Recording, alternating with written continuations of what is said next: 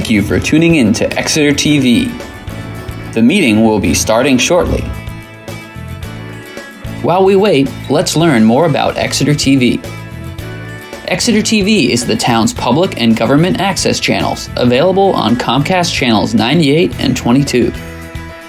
Channel 98 is your channel.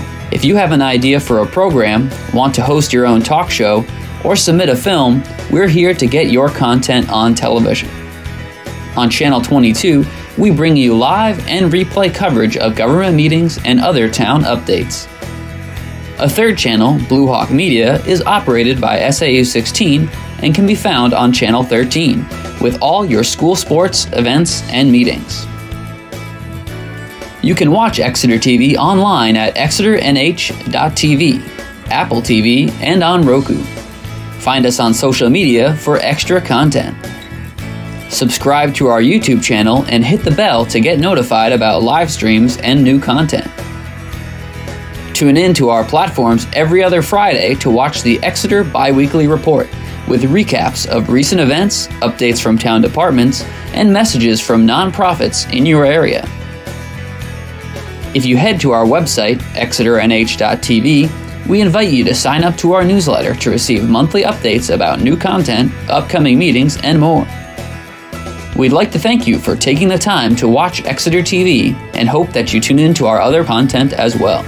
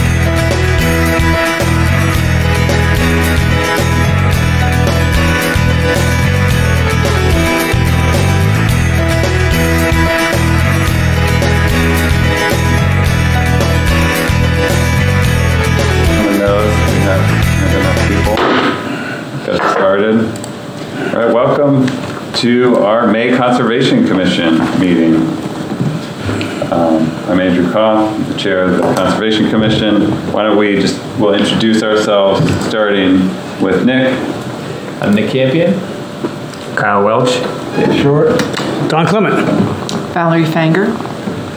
Kristen Murphy, uh, Conservation and Sustainability Planner. Nancy Belanger, Select Board Rep. You Just move your microphone. And I'll move my microphone. Anyone who. All right. And so, yeah, I'd like to welcome Valerie. Thank you for joining us. We're excited to have, have you here. Excited to be here. It feels good to have some positive momentum in our membership after we've lost a few people recently, so that's great. Um, there's a lot of lot of work we do, and we're excited to get you up to speed and contribute however you see fit. It's, it's, there's a lot of opportunities in our town to, to help, and we um, yeah look forward to working with you. And anyone else who wants to join who may be listening out there. Um, do we have Bill online? I can't actually see. Hopefully Bill was able to log in remotely. I don't, I'm not the controlling this. Let's assume. So we're going to assume Bill's here. Um, I don't see any public members here to comment. So why don't we move into our first action item? Um, It is a draft conservation deed for a proposed conservation area with the Carlisle subdivision off Watson Road. And we have um, Jones Beach here to present. Good evening. My name is Barry Gier. I'm with Jones and Beach Engineers here for the applicant. Um, This is for the Watson Road subdivision uh, for Mr. Carlisle. It's, uh, the project is located at 19 Watson Road. It's map 33, lot 26. The property consists of 98 acres in the R1 zone. Uh, The project is a 12-lot open space residential subdivision. Project will place um, 76 acres of the property into conservation. The intent is to deed the open space to the town, which is why we're here, um, tonight requesting the approval of the conservation easement deed to the town. Um, I also brought um, a section of the plans that you received as well, and we can review some of the conditions if you, if the board would like, that the board had requested be uh, conditions of approval. So with that, I'll take any questions, or we can go through whatever you guys would like. Sure, just a, a little background for everybody. I, I'm not sure if everybody was here. This, the Conservation Commission and the Planning Board went on a joint site walk, I remember, with you. Um, and then we had one or two meetings about this project. I- It may have just been I think two. two.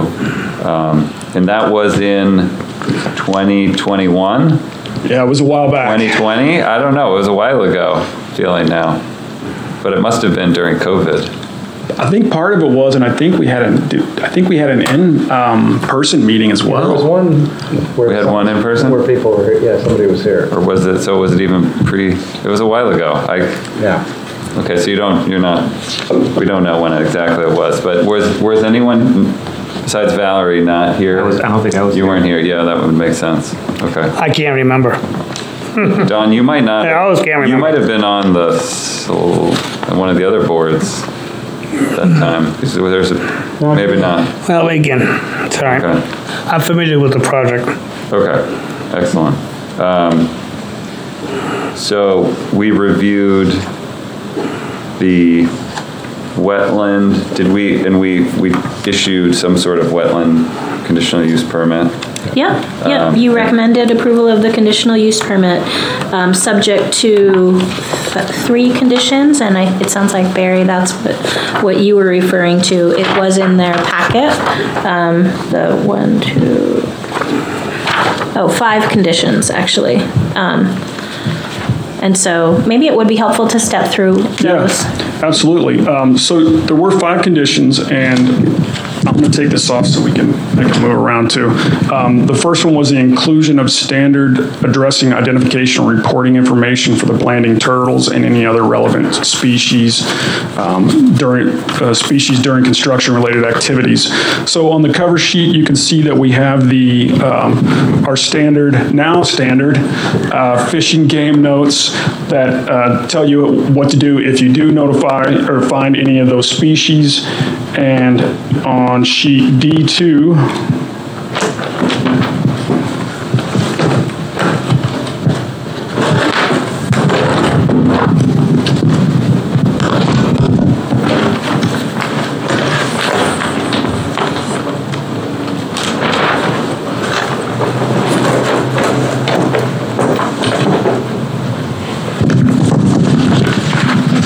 have the flyers depicting the, each of the species that are of concern on the property. Um, Second condition was that the homeowners association documents to include the requirement for a vernal pool education workshop that in- includes information on the Blanding's turtle to be held a minimum of once every four years, as well as a copy of the Fish and Game Vernal Pool Habitat Stewardship, Stewardship brochure to be attached to that HOA. And uh, this requirement has been added to the, to the HOA documents that you have. It's Article 9 um, on page 14. And the Vernal Pool Habitat Stewardship Series document is attached to that HOA as well. Um, Number three is a requirement that the proposed open space be preserved in perpetuity through either the South Southeast Land Trust or the Exeter Conservation Commission. And should the town hold interest in the land, the deed would be reviewed by the Conservation Commission, which is why we're here tonight. You have the deed. It has been reviewed by the town as well, and, and the town is, or Christine has, or Kristen has worked with the, um, the attorneys for the applicant. Number four is at the installation of conservation boundary disc along the boundary of house lots. So if you look on sheet, it's actually the C3s and the C2s. We show boundary discs that indicate conservation easement boundaries along all the property lines. Um, We also, as part of the Fish and Game comments, had to add protected habitat placards along all the wetland buffer lines. And just to explain that, for those who weren't part of this review, there, there's a number of vernal pools at this particular site that are adjacent to the property boundaries. So there's concern about sort of spillover from, from the development to the adjacent vernal pool.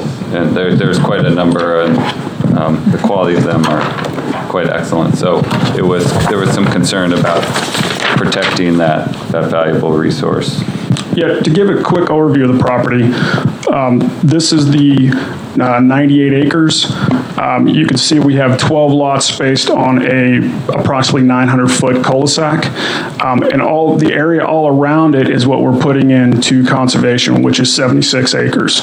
Um, The town owns the property to the east, so we thought that would be a good connection between the two properties. And there are wetlands and um, vernal pools as well sprinkled throughout the property. We actually modified some of the lots to ensure that the wetlands, vernal pools weren't on a property, but were in the open space. And so the property to the east is part of the greater Oaklands um, town forest.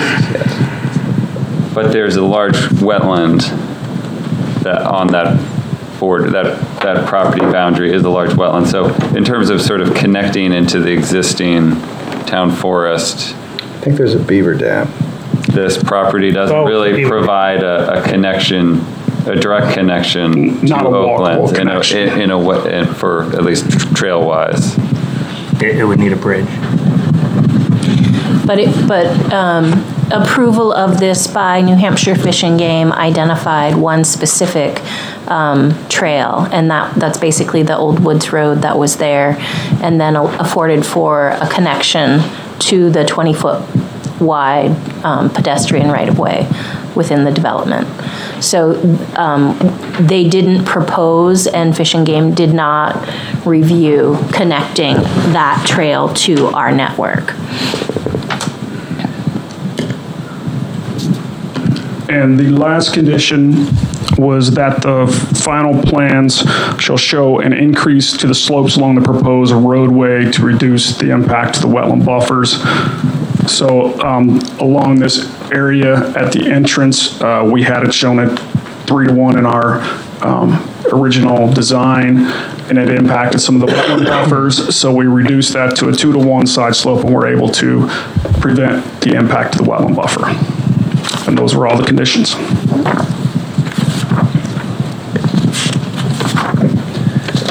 Okay, and that all went into the part of the conditional use permit letter that we sent. So now, tonight, really, the, the thing we're looking at is the town is looking to become, um, what this is called fee-owned, so we would become the owner of this property.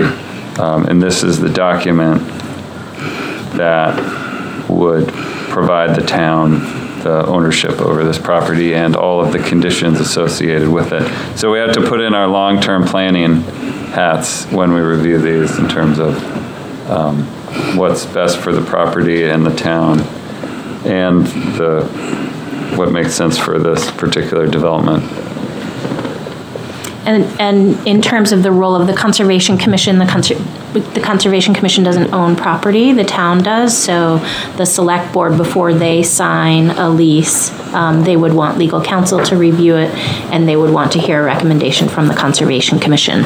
And if you're supportive of acquiring it, that, that, you know, bears weight to their decision. Right, so we're reviewing this and making some sort of motion as, in terms of a recommendation to the select board um, on this document. It'll go to legal review before it gets to the select board, right? They may have some comments. It's been reviewed by the development's lawyers, but not the town's Correct. lawyers.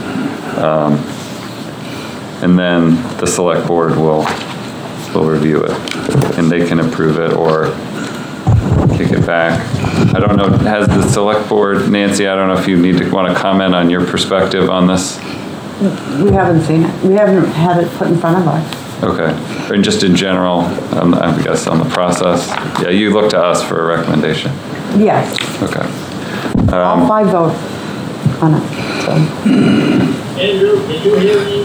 Bill, yes, hey, Bill. Evening, Bill. I'm in trouble, but I think I got, I don't know what's happening. Yeah, I think it, the, the trouble was on our side at one point. I think that we got you connected now.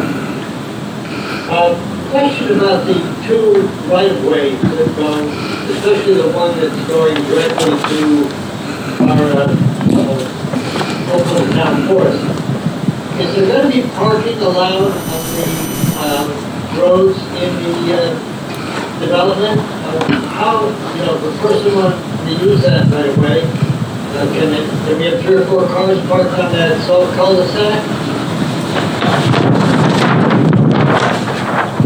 Well, that certainly wasn't a part of the proposal to designate an area for trail parking. Um, So I would say no, Bill, there wouldn't be parking available there.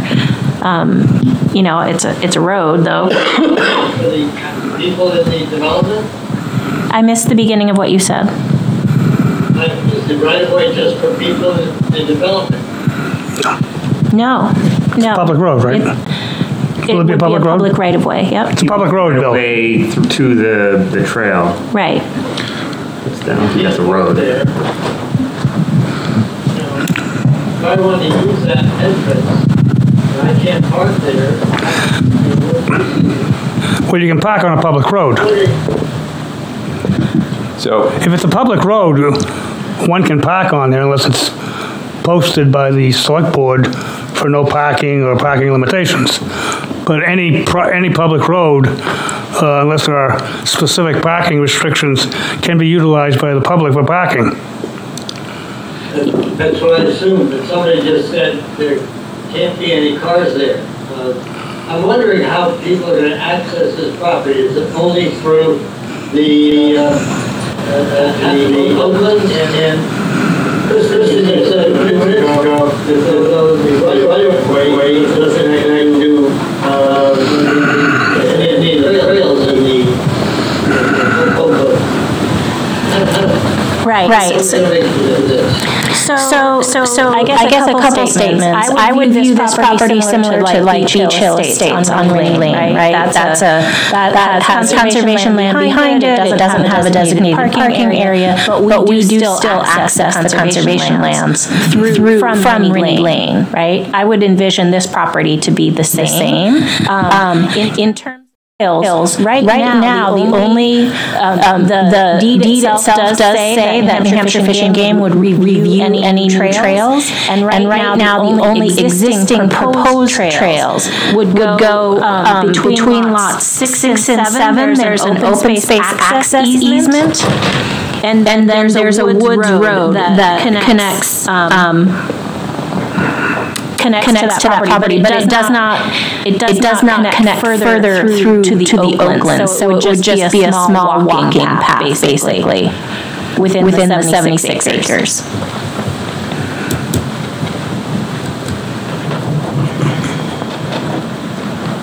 So, so can I, can I just chime in and remind, when we, when we did our site walk, there was plenty of parking on the side of the road there when we accessed. Watson Watson Road. On, on Watson Road. And, and it was, it was, it was, it was pretty safe. There- There's, there's also a parking lot, I don't, I don't know if it belongs to the DPW, right, right at the corner. Um, I'm not sure sure if that's legal or not, but people, people can park there too. Yeah, yeah, the, the the intent never, never to have it as, as a trailhead per se, but, but to have access to the open space in case the public didn't have access through it.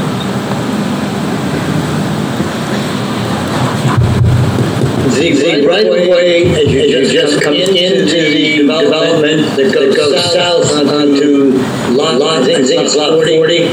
Is lot forty involved in this, or is that still being retained by the Carlisles? That's, that's currently being retained by the Carlisles. So that, that right away way would just be for them to go go down to their property. At, at this point, yes.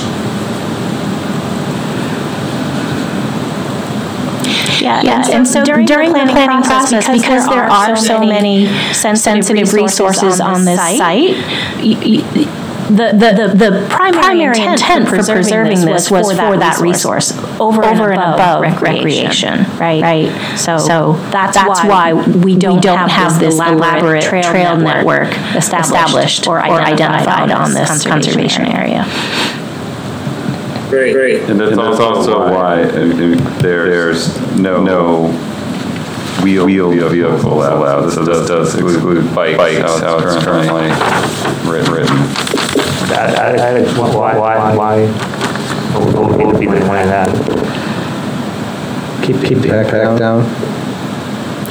Yeah, yeah, it's just small enough of a trail network that, it's not a trail network, it's a little, it's a, I guess it's, the the vision for it is as a walking trail, nature observation, not as a, um, a bike- biking loop. Biking biking trail is going to have more impact because, because it's by nature it's wider.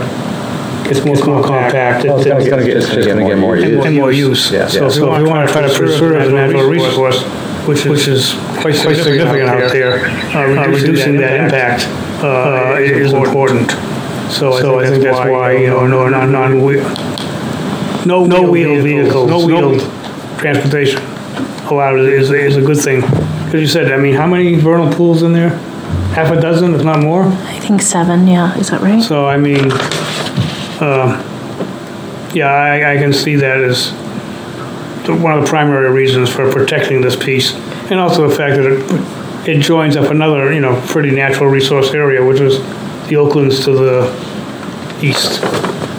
Right, but I, I guess my only thing would be, I think this is such a small trail, I I wouldn't even really call it a network. Like, I don't know that many people are gonna be looking to park to go for walks here. And I certainly don't think people are gonna be parking there to go for a bike ride. But if people in that neighborhood's kids wanted to ride on this trail and everything, then I don't know that that would necessarily be a, a huge impact. Uh, over time, it- I think over time it would be. I guess it's a slippery slope thing. We have the Watson Road parking issue, and this is not, not far from there. And if there was a trail cut through that somebody established, it seems like once it, I don't know, I could see that becoming a, a thing where you cut through here somehow. Well, I don't think, I don't think we necessarily need to have all conservation areas have a recreational component to them. It would be nice to have some recreational areas, or I mean, conservation areas Nat- For natural resources. that really were just. Protective, yeah. Yes, Oh, yeah, I agree. because we, we impact some of our other lands pretty heavily. Um, So I think this is an ideal spot to keep it quiet. Uh, On, a- on, a- one more question on the restrictions. Uh, This was to be, if the select board were to accept it, this would be owned by the town. Correct.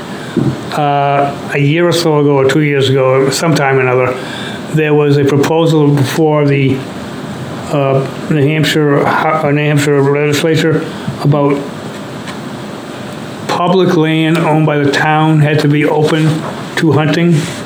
Does that, did that law get passed? Does it exist? It does not? No. Okay. So we don't have to worry about it for this parcel. For right now, right, At at this So- point. at this point, for now. Could we then add into the conservation easement, 'cause I didn't see it, maybe I, maybe I missed it, uh, no hunting? Yeah, I was just looking for that. I think it's silent on hunting. I don't remember. I don't remember seeing anything I about didn't, Yeah. hunting I didn't see either. anything about hunting. So it would allow hunting unless specifically excluded. It's my understanding. Well, if you don't exclude it specifically, you, it becomes difficult to enforce it and say, you can't hunt in there. So where, where was that said? You can at least now refer back to the document, the easement. Not to say I'm against hunting, but I mean, again, I'm trying to protect the natural resources and reduce the impact.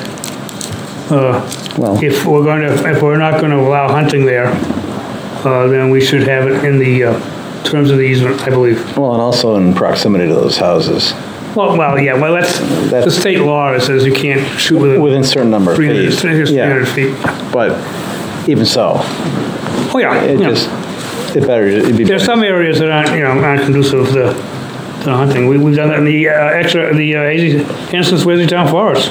Right. We prohibit hunting for, the biggest reason is that we have so much activity in there, uh, human activity. Okay, so, I mean, if that's not, and I don't know if it, I might have missed it in the conservation easement, I don't know. I didn't see it. But if it's not there, can we have that? I- I'm recommending that we have it added. Just a suggestion on my part. We're not, the applicant isn't opposed to that suggestion at all. Um, One of the things we, that has taken this project so long is working with Fish and Game. So um, we, any change to this, we have to go back to Fish and Game and make sure that they're Yeah. okay with it, just FYI. So um, that's, that's been our largest setback because they're not quite up to speed with the level of reviews they've had to do recently. Thank you.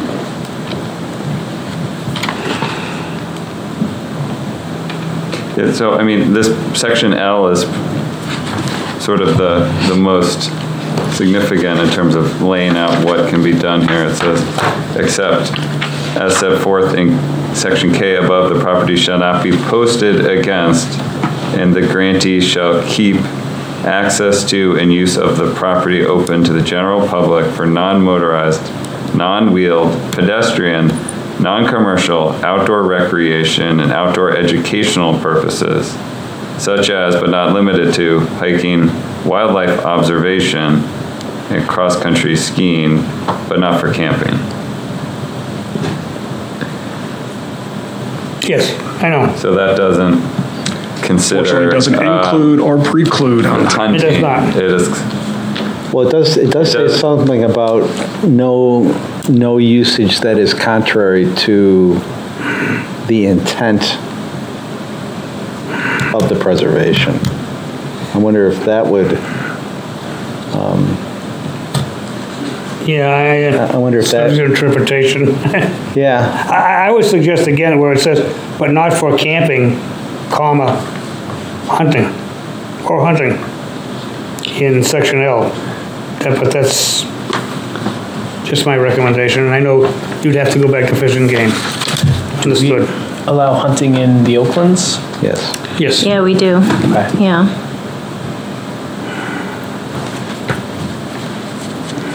So if this is connecting to that, Right. So they I could know, go that's on what the I'm- other side of the, mm-hmm. So the challenge with that, if, if hunting was prohibited on this property outright, um, we would need to maintain the signage, the boundary signage. No hunting signage on Correct. that entire boundary, which would be pretty challenging through the, Um, through the wetland. If you have it written in the conservation easement, you might not be required to post it under the formal state posting rules. Because we certainly don't in the Henderson Swasey Town Forest.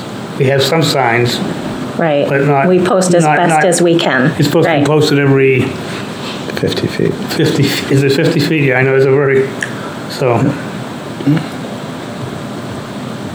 Again, i- if the intent is not to, is to preserve it, to reduce the impact and not have hunting, prefer not to have hunting in this, is it 70 acre, 76 acre? 76. Open, uh, open space uh, preservation area should be noted rather than assumed or implied.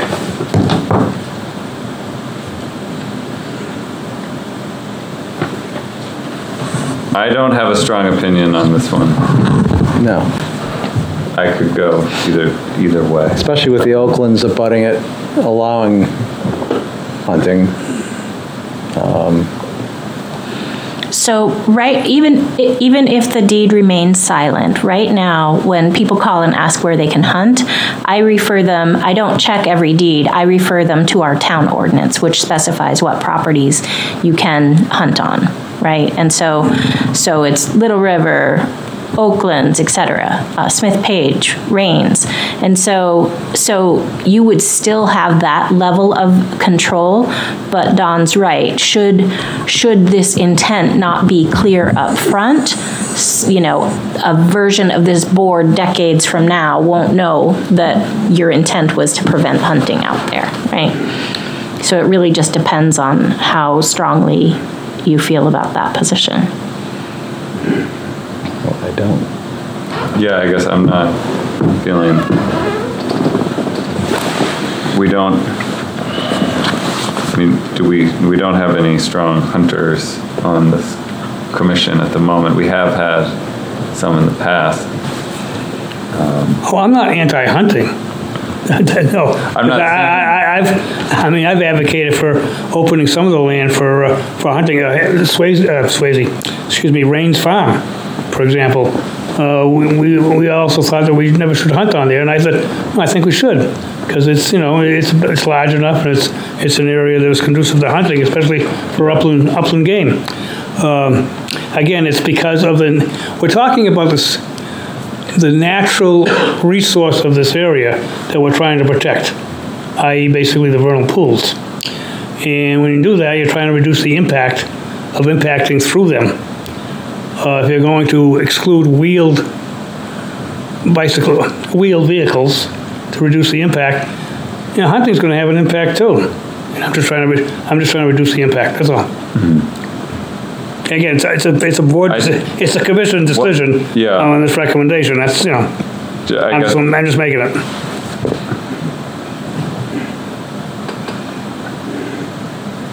I guess in terms of the vernal pool habitat, that's a critical spring period right now. You know, I, we have one near our house and I went and saw the tadpoles. They're, they've hatched out of their the wood, wood frog eggs. It's pretty cool to watch them. So it's a, I, I, so I could, I think someone could make an argument that hunting typically is a, a fall um, activity outside of the vernal pool season. You're not typically hunting any species that would be connected with the vernal pool, and those two activities could coexist. Um, Well, if we were, but if we were going to make this recommendation, we'd have to have a motion and vote on it anyways, right? Correct. Right. So let's have a motion and vote on it. Move to include no hunting as one of the conditions in the uh, easement language in section L. That's my motion.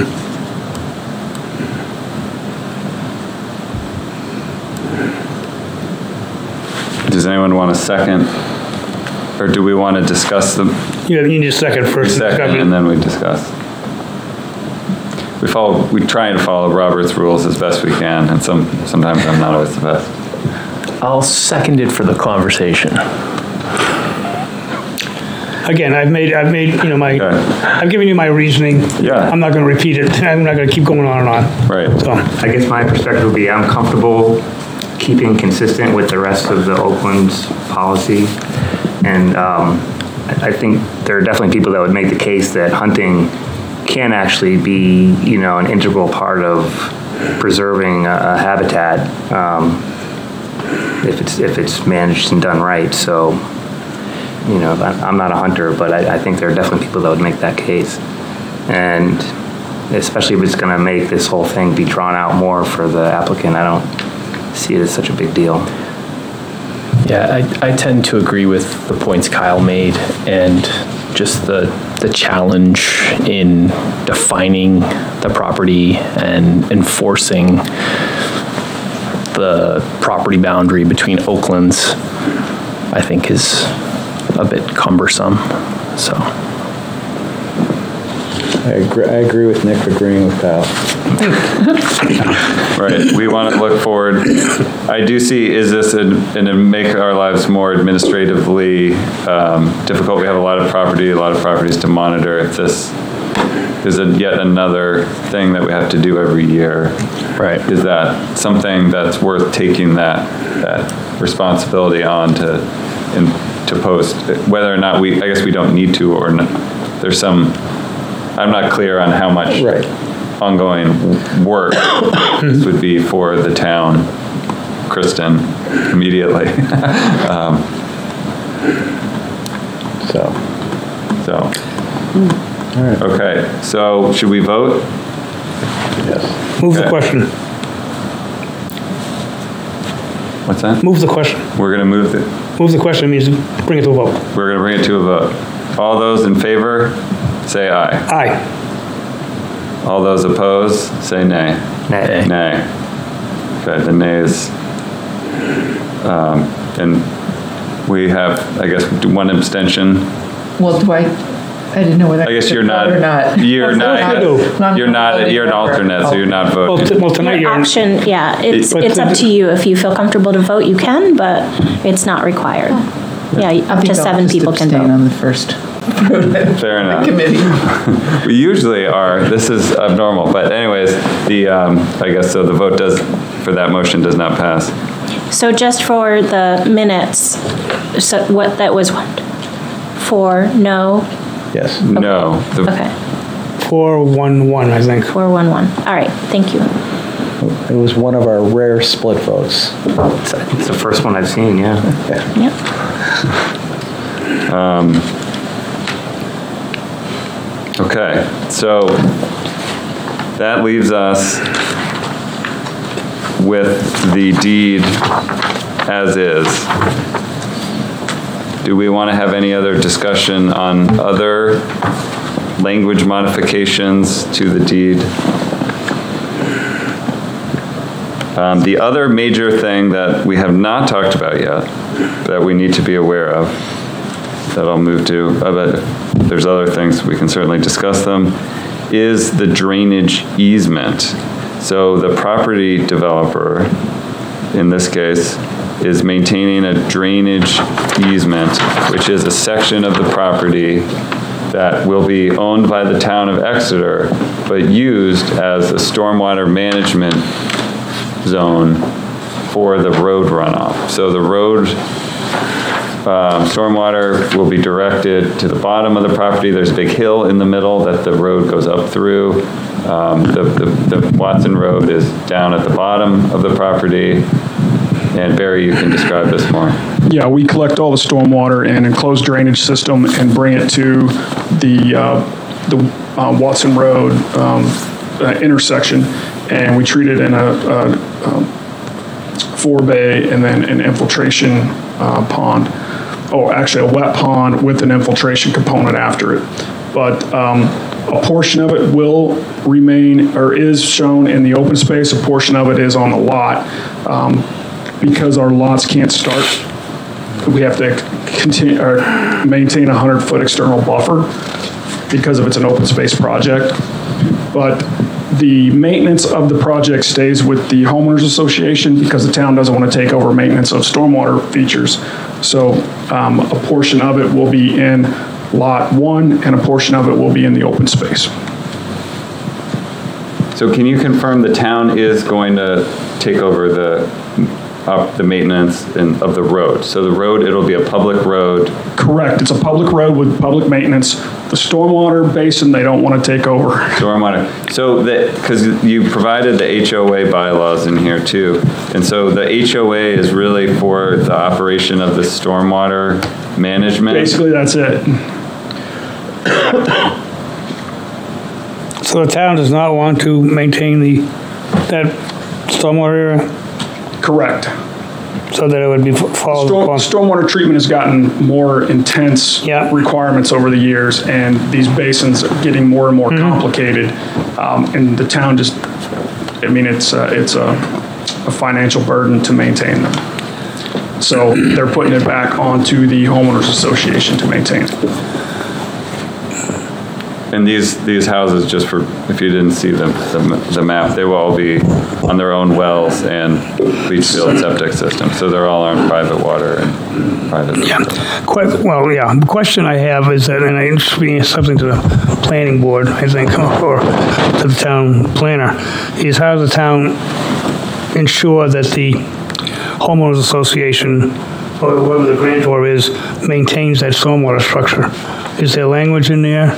Usually there is when we do a, uh, s- sign the planning, the planning board, planning board document. Yeah, there's an annual reporting requirement. Okay, so there is a mechanism to ensure that, uh, that is maintained as it should be? Yep. Even though the town is not doing it? Okay, thank you. I know usually Dave put- Sharples puts that in, but I wasn't sure. Okay. Then it's, it's not an unusual agreement. I think we've, it's in a couple of other areas or developments, similar um, requirements. So I'm good with it.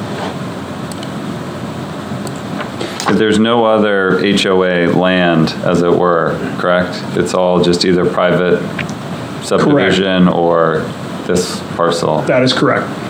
So really, the the HOA is only really being formed to maintain the stormwater system. And to learn about vernal pools every year. I am corrected. Maybe it'll become a vernal pool. And that, that's a little different than some of our other subdivisions where we've had these fee-owned areas. There's typically been a common space that's controlled by the HOA. That was one of the options. Um, As you see, Fish and Game is trying to get the homeowners association. We had intended at some point for the HOA to hold the open space. Fish and Game and the town decided that they would prefer that the HOA didn't hold the open space because it's, um, it's less likely to be maintained or kept as open space. So this way, there is a mechanism where the town and Fish and Game can ensure that the uh, person's backyard doesn't continually expand over time. And that open space continues to be open. Okay? Um, Yeah, I don't see any other, I guess, option or obvious option to this, so I'm, I guess I'm, o- I think I'm okay with the drainage easement, but are there other concerns that's? Okay, any other comments? I did provide a draft motion if, if you're ready. In the See if I can get a motion that that people will agree to. Move that uh, the Conservation Commission state that they have, the Conservation Commission has reviewed the deed with conservation restrictions and subject to legal counsel review, recommend that the select board accept the deed for presentation as presented. Sorry. My I I will eyes. second that motion. I was going to enthusiastically second it. Well, I gotta have Okay. one. I guess We'll, we'll do a, a vote unless there's any discussion. Okay, all those in favor say aye. Aye. Aye. All those opposed? None? We have I one did ab- vote. Oh, you did? Okay, so we have a six, six to zero vote. Thank you. Thank you all very much. Valerie. Thank you. We'll do, we'll tap that. Thank you, Barry, for coming in tonight. I Um, do- So we'll send a memo to, I'll work with draft, Kristen to draft a memo to the select board on that. Sounds good. I think it would be helpful for the commission to identify how they, do they want to, do you want to allow hunting or not, so that we know what we're doing. Am am I posting, it? you know, the the deed is silent on it, so it's up to you to decide, really. And at some point, we need to know the answer to that. Are we just gonna allow it or- or not? I think, I mean, the, the- was to allow it at this point. Okay. I think if we don't specifically disallow it, then we're allowing it. But I should update the, I should update the town ordinance to include this property, if that's the case. And when it comes to you- the select board, when I do my report Monday night, I will be talking to the other members about the conversation. So, because they can weigh in on, on that particular, so. Yeah. You- You're going to tell them about the dissension on the Conservation Commission? I tell, I try to include everything. There's no dissension anyway, it's a conversation. It's important that they know, that's why we do our reports. Uh, I think, I think the ordinance that that you're referring to refers to discharge of firearms, Yes, that's true. not hunting per se. I believe. It's true. So there is other hunting without firearms. That's, uh, that's a whole We could be here all night. can of worms now. Yeah. But you're So right, if you're that going to is allow what it discharge, of- says. but if you, if you're saying the ordinance does specify which town-owned properties allow discharge of firearms. Yeah. And if, you know, and it's Raynes, Anderson, uh, Anderson, excuse me, uh, Oakland's Town Oakland's- Forest, yep. Smith Page, is there another? one? Smith There's Page, about half- Little River. About five or six, but anyways. Do we, are we obligated to update the ordinance or is that just, I get phone call, I mean, I get pho- phone calls about what properties are open and I defer to the ordinance. And do we, s- do do we specifically deny? You don't have to, bear- you don't have to, It's an interesting oh, conversation. yeah, yeah, okay. Do we, Yeah. do we specifically prohibit uh, it on some properties? Yes, So we could specifically prohibit on this, yes. well, let's do that. I don't know. I, I, it sounds like we need to think about it a little oh, bit longer. specifically prohibited I guess as we can an come back. ordinance rather than on the deed? But do we need No, to the do ord- the ordinance is what is allowed, doesn't prohibit. The ordinance is not to prohibit discharge of firearms, the ordinance is to allow discharge of firearms. I haven't got the ordinances in front of me. I don't have the memorized. Right, sorry. but if it's not listed, you can't, Do we- you can't do- hunt with a gun. Do we need to address it before or after the select board addresses it? Our recommendation? No, I don't think that would hang up this, no. Okay, so we. But can- I'm just, So we can just, while we're on the subject and it's fresh in everyone's minds, it would be helpful to know where we're leaning. The, the select board is the one that actually updates or approves any changes to the ordinance. Right, but they're not going to do that unless I provide a memo. Unless there's a recommendation. Right. Correct. Well, they can do. They can. Of course you Okay. I can. mean, Yeah, yeah, the- yeah. But, but you're not likely to unless, Right, I, I mean, How do I don't know. I just do my report and give Yeah. everyone something to think about and weigh in on. Well, it'll have to go on an agenda item, Say- and it won't be on next week's agenda item. No, it wouldn't, but it would be in my report. Yeah, well, yeah, I know. And then it would be discussing whether we wanted to have a further we're not conversation. publicizing it that way, or we're not promoting it that way. Otherwise, it goes on the list of properties where it's promoted. Right? Yeah, I, I'm not sure. I, I guess I was on the that seemingly that we were allowing hunting here by what we just talked about. So um, if we prohibit it in another way, that's confusing. I, I would look to keep it consistent with however the Oaklands is identified personally. Does this have to be a distinct unit, or could it just be added to the Oakland's? It's a separate parcel. What's that? It's a separate parcel. But It's a, de- it's a deed, it'll be a separate deed, so it'll be. Isn't it, anyway? Yeah, Oakland's I'll have isn't. to confirm if it, I think it says Oakland's Town Forest. Which, yeah, that's another issue. But, I mean, that would make Let's table this administration. for now. Yeah, Yeah. let's, let's table it. There's, Can always go back to it. Yep. It's maybe something we need to think about if we have, look at hunting uh, across the town. No. Um, All right, that was interesting. All right, let's, let, we have some other things to talk about. Uh, They should be able to go through them pretty quick. We have the pollinator pathways. We have some winners. Would you like to announce them? You should. I, okay, we are going to announce. So the last m- meeting, we decided to raffle off four, four seed kits, but we got eight applicants. So we, we're giving away eight. We're going for it. So you have not informed these people? Correct. I would really prefer not to try and read all these names Okay, and would elect for you to do that, Kristen. Okay. So the applications we received were from Catherine Igna- Ignagni, Oh, that's. Stephanie Slabon, Andrea Kohler, John Berenson, Matt Green, Natalie Rinaldi, Mary Teagle, and Ann Matthews. And I apologize if I mispronounced it. Congratulations, folks, Yes. being Very participants in the pollinator. And so I did bring a sample kit, so this is the kit that they'll receive. It has planting instructions and a pretty dense seed packet, so it's a pretty nice sized seed packet. So there you have it. Excellent. So I'll Good. coordinate with getting those out. It's a good time to plant wildflowers right now. I'm trying to. Now I need, I need- I had too, last week I had too much rain, now I haven't, No, we're gonna get rain for 10 days. Right, now it's It's not, getting I gotta dry. water it. Ow, It's true.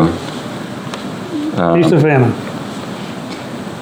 All right, now we're going to talk about the Alewife Festival, which is very exciting, and we have a bit to coordinate and go over, I think. It's this Saturday, 10 to 1, Founders Park, right next to the Great Bridge, across from Sea Dog in the library there. Um, so I hope everyone can make it. Should be, the weather's looking pretty good. And we have Alewife running, so, so reported. So time to get out and see the Alewife. We're gonna start at 10. Um, And we have a whole schedule and it's been posted. Do you want to talk a little bit about all the work you've put into this, Kristen? To come up with the schedule? Or Um, do we? sure, What do we need to go over tonight? I mean, I, I think it would be great to talk about the commission's role, right? So just to confirm that everyone's on board. Right. So Trevor is speaking um, on the, the health of Great Bay in the intro section. Um, And I'll confirm that, since he's not here, I'll confirm that with him in person, but just kind of a, a, a sneak peek of PREP's latest report.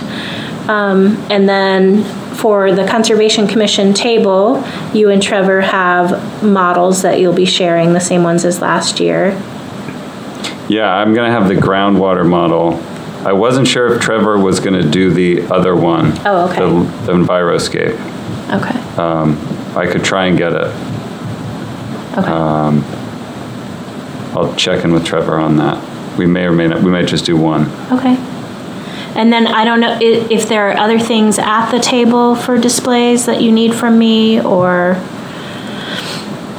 um, Did we have, I, I don't think we really had anything else. I mean, we could have trail maps or, mm-hmm.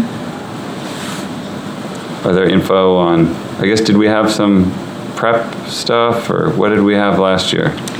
last year you had a map of wildlife corridors, I believe.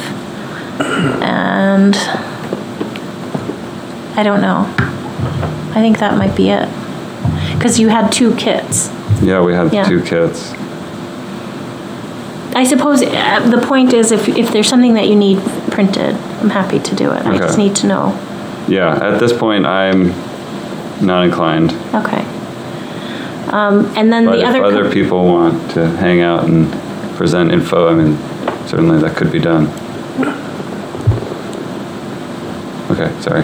And then the other component, Kyle, you hit, you were still good taking people down to String Bridge. Yep. Do you have everything you need for that? I don't know what that would be, but Life jackets? Yeah. I don't know. I think, I think it, I don't know. Polaroid sunglasses. Yeah, maybe. Okay. all right, great. Yeah. And if other people want to come help, do you have other, we have set up, we'll, we'll get there early to set up. Yeah, that would that would be Um, helpful. I plan to get there at nine. Um, I, I'd like to get there a little bit ahead of the committees because I want to mark out where the tables are going. But you know, anytime after nine fifteen would be awesome. Yeah. yeah. So maybe what you could have at your table is the raffle. So uh, you'll collect the passport. Um, the Yeah, we can collect passport that. things, and and Concom maybe could be the one to do the drawing at one. Okay.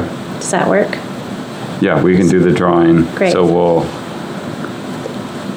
do you want me to bring, I could bring something to just collect all the, I have something. you have something? Yep. Okay. Okay, we'll do the drawing. And then Sarah's gonna do, is gonna be doing her printing on the canvas. She's got the fish, looks pretty cool. It's awesome. So people can come and print on this linoleum cut that she's made and then print it onto this giant canvas. Live community art. Live community art. And she started making tote bags, but then wasn't sure about it, if she was gonna sell, sell those if people wanted tote bags. Um, So there's been some, a little bit of indecision on that, but she- I don't know what. Oh, and she has stickers too of Oh. the, she made the alewife into Oh, that's great. stickers. So it's pretty fun. And we have the pint glasses.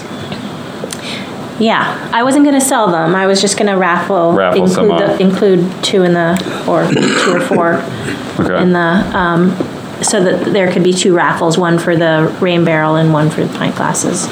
Perfect.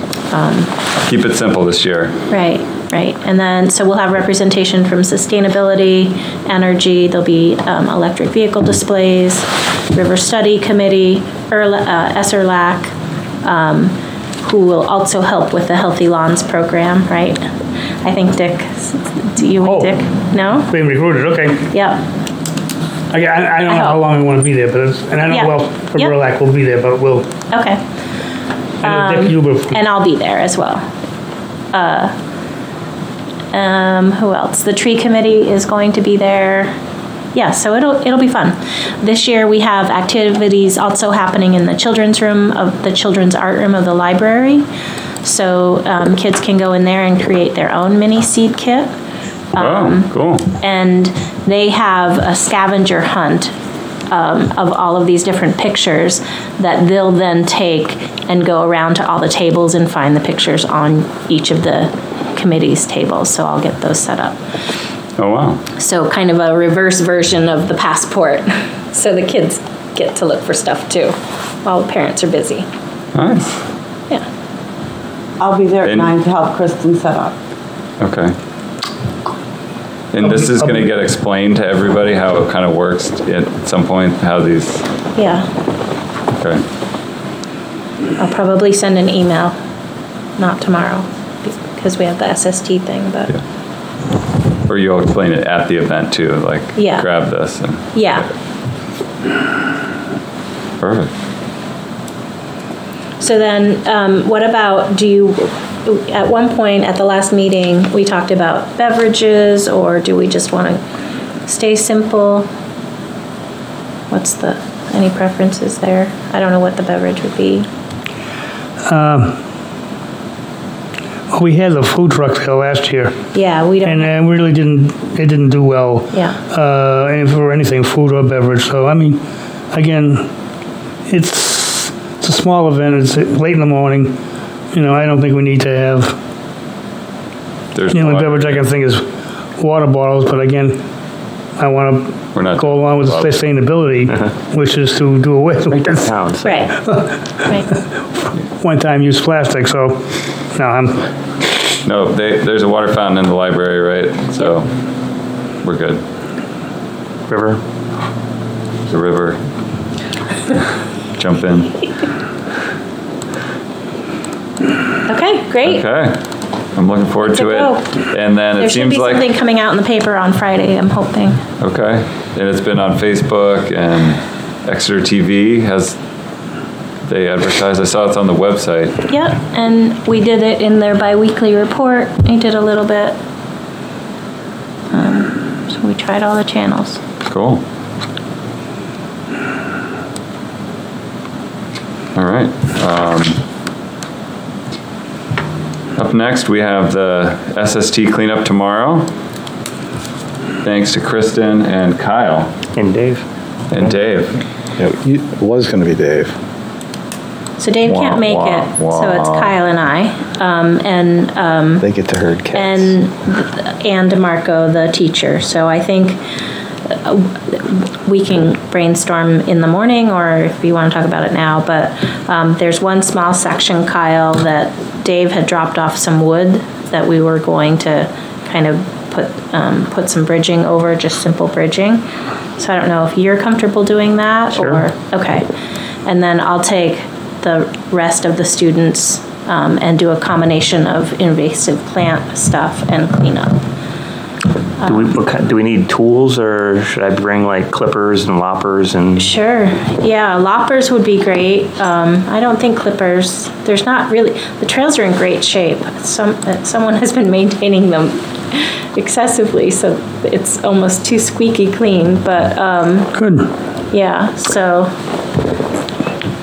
yes. I, I saw something on social media the other day about somebody had taken a walk back there and came back loaded. The tick population is significant out there. That was this morning. And, uh, hmm? That was this morning. Oh, was it this morning? Yeah. And there was talk about, you know, how do we manage that and warning people and I, I- again, I I don't know what, you know, just to be aware tomorrow. Well, you will be, I'm sure, but Yep, I did I'm mention kind that of to Ann. She said she had fan, already you know. talked with her students about that. I, I will bring um, DEET if people want to spray their legs. They're welcome. yeah, I'm not a fan of chemical, chemically treating the area Oh, no, at all, at all. So, yeah. I hope not. There, there, on that post, one of the local treatment companies offered to treat it, uh, I think for free, but No. No, yeah, we don't. Yeah, I mean, there's drainage tiles all through that field, and that, that goes directly out to the river, so, because it used to be a former football field. So the old drainage tiles are still there. I wouldn't recommend that. I would, yeah, strongly recommend against. And, and we're trying to grow it as pollinator habitat, so, It's just a, it's what it is today with the Yeah, it just ticks good- with the Good tick check. less, less winter, shorter and less, you know, severe winters, the tick population is exploding. It's, Well, and particularly a dog running through that field. I don't know where you guys are going to be if you're on the trail. It's probably not as bad as There the, is the a- field itself. there is a bit of trash in the field that we need to pick up. anyways, But yeah, you do a tick check at the end. Make sure you Yep. spend five or 10 minutes just doing that. Um, Okay, well, good luck tomorrow. That'll be fun. Get good weather. And then there's another trail day on the 27th or June 3rd. Time TBD. I don't know if there's anything else you want to talk about. Yeah, so um, There. Kyle had said that he's available to help, and he's available both days. If others are available and interested, and that'll narrow down the dates, that's fine, or we could just pick one. Um, And it'll just be Kyle and I. I mean, I'd be ha- happy to help if we can hire somebody by that, the time it happens. Yeah. That's what it really comes down to. Um, So, So those are Saturdays. Mid-morning to mid-afternoon. I can't do those dates. Yeah, it is. Yeah, okay. Is that an existing cross, high school uses it as cross-country trails? Um, Across I don't know, I, I know they have a Mm-hmm. ropes course in there. I don't, I don't know if they use it as their cross-country. No, they don't. They don't. No, they have their meets at um, Phillips Exeter. Oh, okay. It's a lot, a lot of swamp back there.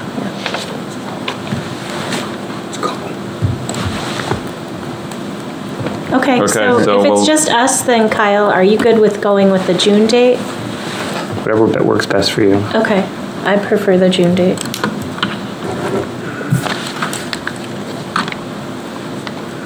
Okay. Oops, that's not. We have some things about Raynes. Do you want to talk about? Yeah, um, so just briefly, um, repairs are ongoing. Steven's, do- Steve is doing a great job. Um, Public Works was out there to help with some regrading to access the sill. Does Valerie? Do you know about Raynes Barn? Oh, yeah, So up on Newfields Road, do you know Newfields Road? There's there, there's a big red barn on the right in a field. That's town. It's our town barn, as it were, and It's right on the curve. Right on yeah. There's a curve. The word barn's on one side of the road. Word barn quite well. So it's right across from there. Um, and there's a parking lot you can park just past the word barn on the right. Okay. And then you kind of walk back down towards Exeter to the barn area. Um, and there's a bunch of work going on right now. Okay. We've worked hard to, um, for some reason, well, it's town conservation area farm, um, and it continues to be hayed. And, um, but we're kind of on the hook to help maintain this barn because DPW doesn't have the capacity to. So there's a contractor right now that Kristen's talking about. right, it's a historic barn, so we applied for a grant. It's on the state list, the state register of historic places, in fact, for its significance. Um, And so we hired, uh, we applied for a grant with LCHIP, the Land Community Heritage Investment Program. That was awarded, um, and so he's out there basically doing his work, getting the windows repaired and the sills and, um, you know, the support beams, you name it. Um, and then it, the, the exterior work will be replacing or repairing the clapboards on the outside on the south and east side. Um, by the time the grant was awarded and we got the contractor in place, the cost of materials increased, so we didn't have enough funds to do all four sides. So um, I am, uh, I submitted a letter of intent to apply for a Moose Plate grant, which will be due this summer. Um, That's a 20, 20,000 grant, $20,000 grant or 25, yeah, $20,000 grant. And I'm hoping that'll get us a little bit closer, but we're, we're about $55,000 short. So it might not get both exterior sides done. So I don't know what we'll do at that point, but Just out of curiosity, where do you research your grants? um, Google. Yeah. Are you a good grant writer or grant finder? Because Well, welcome. there is a, there is a site, you know, that I've researched grants before, so maybe we could talk Yeah. afterwards. That is fairly easy to get onto the New Hampshire not-for-profit organization. So Grant Station? Oh, please, So- yes, let's definitely talk about Yeah, that. so, yeah, because I'd be happy to do some research into grants. That is fantastic. Yeah. Yeah, Chris- Kristen's going to float home tonight. I will. I'll sleep well tonight. Best Yeah. news so No, far. That's so- that's fantastic. Thank you. I would appreciate that. Um, So uh, with that, that obviously means that um, we'll need some help with um, review of the grant application for Moose Plate. So we'll probably create a subcommittee as we did with LCHIP um, and, uh, and go from there. Um, In terms of the lease, so we have a current lease with the farmer. um, And that lease was a five-year period with the potential to extend it for another five years if both parties are happy with what's happening. Um, And so I checked with the farmer, uh, the Davises of Little Brook Farm are still interested in haying the property, which is great news. Um, And happy with the fluctuations in mowing to accommodate nesting birds, which I think is fantastic. So as long as the Conservation Commission is on board, um, then I'll present to the Select Board that both parties are still supportive of continuing and request that they um, sign the lease. Sorry, we, nothing needs to be signed. They just need to agree to extend it another five years. I would recommend we move forward with the lease on another five-year term with Darren Davis of Little Brook Farm. Is that a motion? I'll motion that. I'll second that. Okay, all those in favor say aye. Aye. Aye. All those opposed? None. The motion passes. Okay.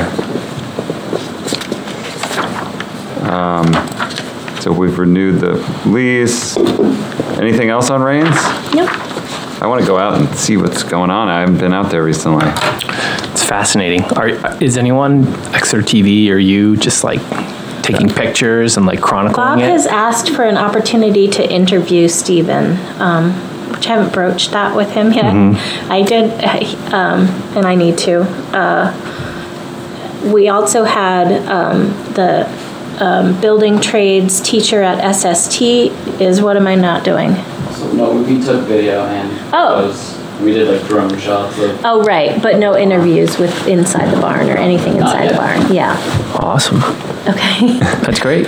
Um, and so, uh, yeah, so SST, the building trades, they were wanting to come out and meet with him because there's kind of a shortage of um, restoration um, in the building trade, restoration workers in the building trades. But I don't, I don't think, I think he's very interested in being focused on the repairs, which I don't blame him, and that's a good thing for all of us. Yeah. So oh, maybe we could get a quick interview or something. I don't know, but still working on it. It's it's always fun to see when I drive by, like, oh, they, they got the scaffolding up, like, Yeah, oh, they got the clapboards down, like, you know, it's it's always neat to see. So, And the mowing around it got managed? So he did it once. Public Works, I think, has done it once, and it need it needs another one. I I have a message from him asking, wanting to talk about poison ivy. So I'm guessing there's some additional work that we need to do there, and I don't know what that is. Yeah, there's some poison, I, I bet there's some poison ivy. Yeah, I mean, it- we knew there were vines there,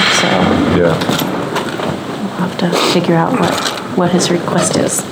okay. Um, yeah, send us any email updates to the committee, I guess. Okay. Okay, um, otherwise, we had a ton of rain, but things have dried out. Trails are in pretty good shape, seemingly. Amazing. So, Beaver Deceiver is working perfectly, even with all this rain. That bridge is still high and dry. Fantastic. and I saw the closed, one of the closed signs at least a few weeks ago when I was out in Oakland, They're all still there. still there. So They didn't- Nobody pillaged them yet, huh? they're very official looking. So you did a good job. Um, any other trail? Um, just one, so David Tuvey from Parks and Rec reached out to me. Um, they, they have a walking group, a Wednesday walking group. And, yeah, I'm pretty sure it's Wednesdays. And I think, uh, the 24th, I'm gonna take them out to, um, the McDonald property. Yeah. I, I have the date wrong. I don't know what date it is, but it's a, there is a date in May will, where we'll be going to the McDonald property. So that's good. It's a small group of, um, of walkers. Um, they're trying to kind of grow the, grow the group. Um, but I think we're gonna do like a wildflower walk Out into the, on the 23rd. out into White's Meadow and. Yep. Nice. Tuesdays, the 23rd. My daughter's class has been raising brook trout Oh, that's great. in the school in Lincoln Street, and they're doing a release at McDonald. That's awesome. When So- is that? Let me know. I'll be there with my visitor on. I think they're pretty little, Don. They're not very big yet. More than I'm catching down. Uh, I think it's tomorrow. Oh, cool. Tomorrow They did that one year at. Lincoln Street, didn't they? Was it Lincoln Street? They did that a couple of years ago. They've, yeah, I the think, yeah, same it's a teacher. really great idea, yeah. Yeah, Mr. Schmidt does it every year. Um, yeah. And she just got the, um, she's in fifth grade, so she got the, the tree from Peter. We have our, our spruce tree That's great. um, that we just got, so that, Yeah, so I think it's his 33, 33rd year presenting that to the fifth graders, which is fantastic. Um, we had representatives of the tree committee there. We had volunteers packing, who um, who we didn't. It was just volunteers who were friends of the tree committee, so that was great. Um, oh wow. so the packing got done, and uh, yeah, Peter gave his presentation. He had a huge, like I don't know, three foot long big leaf magnolia that he brought for the kids to see. They were just like fixated on that leaf. It was it was crazy. They were like, "Can we get seeds for that?" but yeah, so that was the first time I've actually heard his presentation. Oh, you went, nice, Yeah. cool. Um, And other outreach events, there's a, the Earth Day video.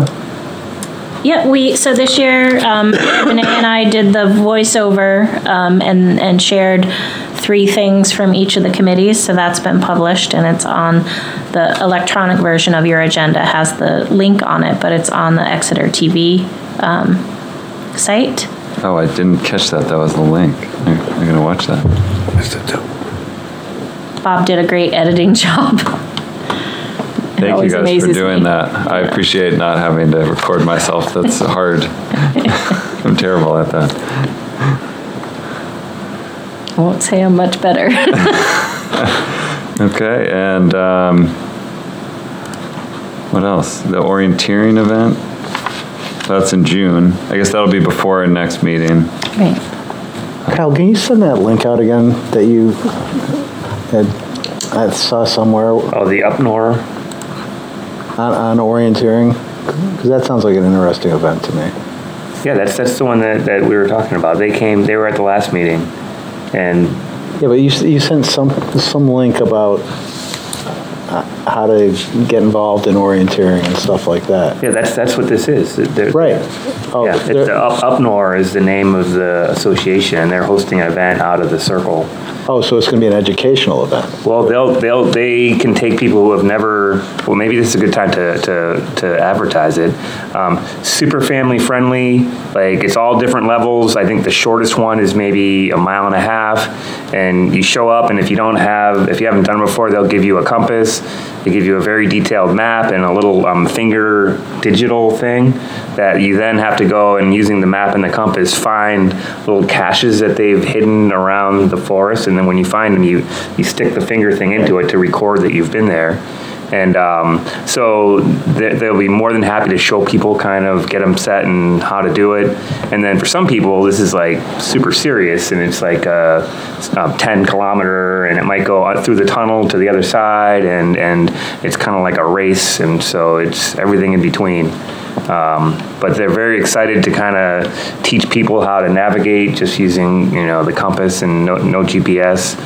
And um, And they have this map, this amazing map. yeah, and, and it's, I think it's like, it would be ten dollars for a family, um, is what the entry fee is, and so they're basically just trying to cover their own costs, and you just show up and they'll explain everything to the people there, and it sounds like You- a you- really, You going to advertise it again like the week before? yeah, we'll do that, and I've actually, when I'm out, like, on a bike ride in the woods and stuff, if I see families or hikers and everything, I, I always stop and, and Yeah. do a little advertising there too. Um, uh, and I also posted on the, um, there's a bunch of White Mountain hiking pages, just about for people that want to learn how to navigate with a compass and a map. This is a great opportunity to practice. Um, and so June 4th. And, and, and the group is upnor.org, up north oriente- orienteering. But so, All right, nice plug. And we don't have the trail race this year? no, Um, That, uh, they, it, that's a good question. I They're emailed coming- them. They are on the list to come to the next meeting. I emailed them and they said they aren't gonna Oh, have it really? this year, yeah. Sarah did re, huh, So my son was very excited to run in it, so, oh, no. yeah. Okay, yeah, because it's usually mid-June, so we would have to, When it. was that? Did- Do it when did now. he- She say sh- they weren't doing it? I emailed and said, is the event happening this year? And they emailed back and said, no, it's been discontinued. Uh-huh. but that, you didn't, that wasn't part of Kristen's communication, that was separate, yeah, This was just me reaching out to Acidotic Racing yeah. from their contact. Okay. Well, That's too bad, I know that was a, that was a good race. Mm-hmm. Um, So it won't be on your agenda next month then? It will not, check. Um, Do we have any other committee reports? Um, the committees have been busy getting ready for the Alewife Festival, the community power launch. I don't think we need to go into too many details, Yeah, um, on committee reports, unless you want no, details. Um, we are doing, I am doing again the middle school, um, water quality presentation. So I go out on the 17th for the first one and then, um, the 22nd, I think it is, for their second presentation. And so that's students learning about what wetland buffers are, how they function, and then following up with um, actually physically testing. Like they develop a theory for which wetland is likely to have better quality water based on the size of the buffers around them. And then they, we have our VRAP meters, our water quality meters, that, and then they test their theory. So we're doing that again this year. Awesome. And are we doing VRAP? Yeah. Okay, do you need volunteers? I do need volunteers. VRAP starts in January, uh, June. I was gonna bring it up to the River Study Committee, um, but anyone is available to help with me. I haven't set any specific day or time or anything. I'm completely flexible in terms of if, if I get a volunteer, I'll do whatever they can do. Um, but, yeah. I'll come out. I like coming out with you. Oh, yeah, Dave. okay. Are we still doing the same sites? Yes. Um, and then we also, Brentwood expanded, um, Eric Tur, Tur, Tur, Sure. Tur. Um, he got a meter this year, so he's getting the training on the 22nd. And I can act as a liaison to VRAP for you guys. If you ever need anything from Concord, just, Good, that's, I'm, I'm happy to shuttle things back and forth. I didn't ask you this year, but I probably should have. I just dropped it off, because I had Eric's stuff too. Oh, okay. Yeah, you should. Okay, great. Just, I'm, I'm good at delivering, or if anyone needs samples delivered to the state lab, I can deliver things to Concord. It's cool that, um, that Brentwood is on board, though, to have some additional sampling sites. Yeah. It'd be nice to get a snapshot of what that portion of the river looks like. Yeah, is that up on the, the Haight, is it Haight Road or Height Road? So I think or his, I can't remember how many, I think he has three or four sites. Height Hague. I don't know exactly where they are. I know one is just, just above Pickpocket Dam. Okay. Cool. Um, And for people who don't know the, what VRAP stands for, it's a Voluntary River Assessment Program. It's a statewide water quality assessment of rivers. There's a similar one for lakes. And um, state-run, volunteer, there's a state coordinator, but it's, it's this amazing long-term volunteer monitoring program. And it looks, we've been doing it for years and years. I think Exeter is one of the longer I think we've been doing it in Exeter, we started it almost, I'm gonna say 25 years ago. We have about 20 to 25 years worth of data. So it's, it's an amazing resource, you know, you're looking at impacts of road salt, um, DO, yeah, other sort of general, very general water quality parameters. But the, given this breadth of sampling, it's, it's a neat data set uh, across the whole state.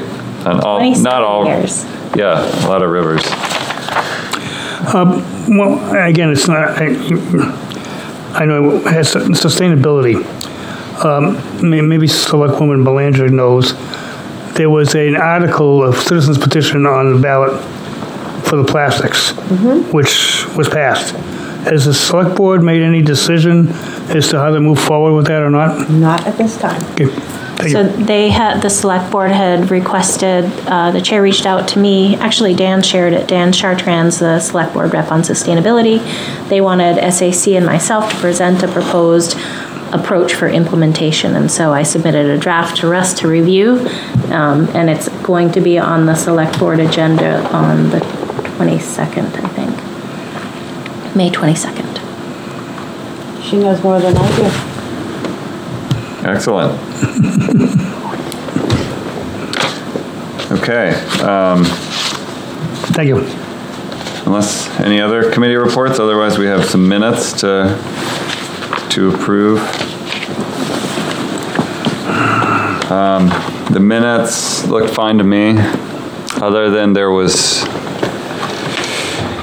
that one issue I mentioned to you, Kristen, earlier about, do we need to approve December, January? Um, For some reason, it was in the minutes that, that we had tabled the December and January. We're all set. The ones that you have before you will catch us up Okay. to February and April. So I guess I would, other than striking that. Maybe we did, I guess this is confusing now, I'm confused. Does anyone have any other comments on the minutes? No, okay, I guess, I think we should remove that from the April minutes, the mention of the December and January Yeah. tabling. I don't, I think that was a copy and paste. Yeah, well, the issue. non-public won't get approved until the next non-public session. So it's Right. kind of weird, but Okay.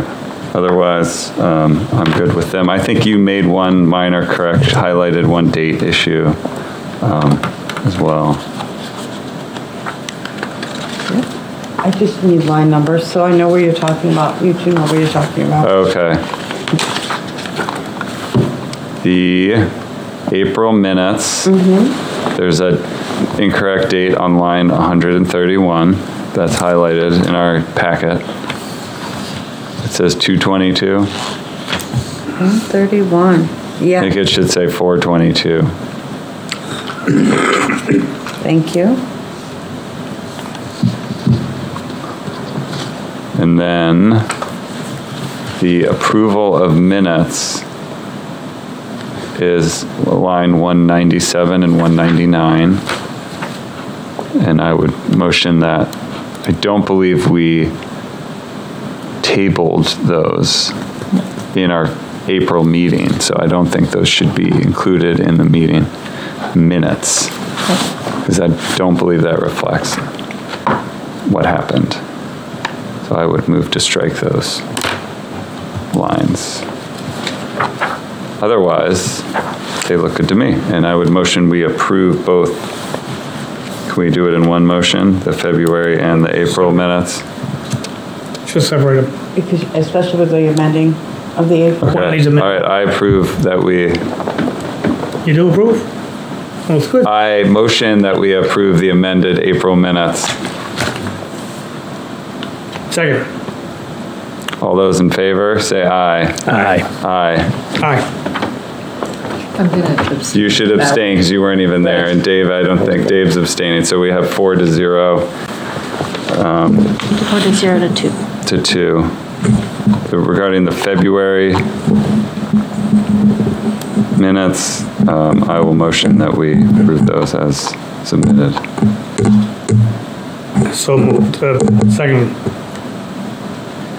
All those in favor say aye. Aye. Aye. Similarly, four to zero to two, those pass. Um, Any other business or correspondence? There's, you wrote on here the beekeepers. Oh, no, skip beekeeping? that. Skip that, okay, The- I I just photocopied mine for you. okay. Um, I did have something I wanted to share. It's kind of exciting, so um, for other business, if Yeah, So during COVID, I, the Ipswich, Massachusetts, their um, Ipswich River, um, Ipswich River Conservation Organization reached out to me and they wanted to hear about Exeter's dam removal project. And so I did a virtual presentation. They projected it in some bar some in Ipswich. I don't I don't know where, but I was there virtually. Um, and and they had some great questions. And the reason they invited us is their dam situation is so similar to ours. It's in the heart of their downtown. There's, you know, a mill building that used to use it. Um, they, uh, they're the. It's kind of being moved forward not by the select board, but more by the citizens. And so there's a lot of similarities. And so um, they invited me to go back down last weekend because um, the ballot measure is out for a vote tonight for them. Mm. And so I went on Saturday and spoke to a crowd of people down in Ipswich, Mass. And that was the first time I had actually been to that site. And it was shocking to see how how, like it, it was kind of an echo of Exeter. It was a, it's a cute, yeah, it's a cute little town. Town, yeah. Ipswich River is so threatened. Um, so much water withdrawal from it that uh, sometimes parts of it in the early summer actually dry up. Yeah. It's been, uh, it's been noted many times in many different publications, you know, how threatened that river is. Yeah, and for the first time, so that came up um, because you know, there were people present who basically felt that, um, you know, why remove the dam if, if that's not a major part of the problem? Um, but at the same time, the Ipswich River, um, I think it's the Watershed Association, I yeah. forget their exact title, but they, um, they have been working through the legislature to pass regulation that brings all of the water users together and develops a plan moving forward. So that's in draft. So they're doing some hmm. incredible mm. stuff. Um, it was really cool. And they have some very fun outreach activities, like they have a beavers and beer presentation where you learn about the importance of beavers in the local restaurant and just really fun paddles and some other stuff. So um, it was kind of it was kind of neat to see what another um, entity yeah. promoting um, water quality is doing. But anyway, it was exciting. So our story got to live on. Tomorrow, see how it went. What's that? Yeah, yeah, yeah. I just put it in my reminder. And now I'm curious to see how it works. Me too. And yeah. read the. I, am so invested. Good work getting yeah. out there. That's awesome. Yeah. It's and I know our story can kind Durham too has a dam, upcoming dam removal, and I think they're interested um, in Exeter. Well, they voted to move forward with their dam removal yeah. during last year. Right. Actually, they're studying it now, how to go about doing it now. And yeah, we we hosted Durham back in 2016, 2017, a joint meeting talk about the, because we had just gone through the dam removal vote. Yeah, that, we did that in what, 2016? Was it 2015? Yeah. Okay, and I know we met with the people from Durham, the council, uh, the town administrator, uh, Todd Selig was here. Uh, we took a trip out to the dam, you know, but this is pre, I think pre, the dam pre coming down, before it came down, but we had already passed it. So they were interested then in what the process had been, so. And we also presented our story to them um, virtually. Yes. Yep. During COVID. Yeah. Yeah. What a what a cool case study we have. So awesome. And it's fun to talk about you know the the fish return too. You know it's it, it's just exciting to see, have footage of the alewives coming back in mass and. Um, Celtics. Celtics. All right. So no, uh, I think that's it. Anything else? All right. I guess let's. I will motion to adjourn. Our next meeting is going to be June 13th. Second. All those in favor? Aye. Aye. Aye. All right. We are adjourned. Good night, Bill. Thanks, Bill. Thanks, everyone. Look at that.